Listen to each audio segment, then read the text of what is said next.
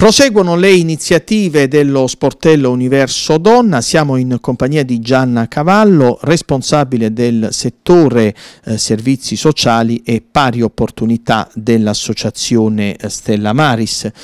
Vi occupate di arte e eh, coinvolgerete le donne in attività eh, artistiche appunto.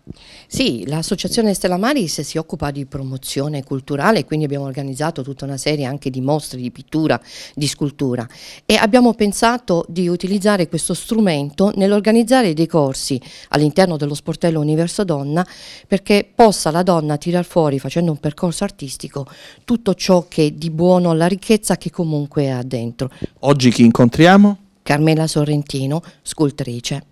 Professoressa Carmela Sorrentino, docente di storia dell'arte, nonché eh, scultrice. L'importanza per la donna di eh, realizzare qualcosa proprio in ambito scultoreo. E, eh, non è difficile perché eh, l'arte è a portata di tutti.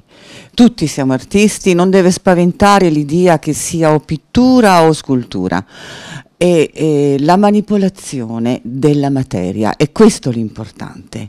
E quindi noi dobbiamo impossessarci della materia forse eh, mh, diventeremo più forti proprio attraverso la manipolazione della materia, cioè so farla sottostare alle, alla nostra volontà. E scultura può essere una parola grossa perché adesso anche la pittura è scultura.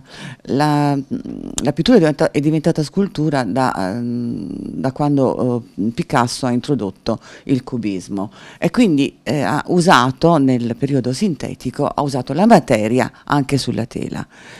E ancora oggi, eh, oggi soprattutto, si fanno queste, eh, questi lavori con materiale di diverso tipo, o appunto sulla tela, oppure eh, assemblandolo in modo libero, o usando invece i classici materiali come per esempio l'argilla, oppure eh, il gesso, e non parlerei di, di, marmo perché diventerebbe una cosa un pochino più complicata, però la materia qualsiasi assemblata è già scultura, quindi impossessiamoci di questa materia e facciamola come eh, um, usiamola nostro piacere.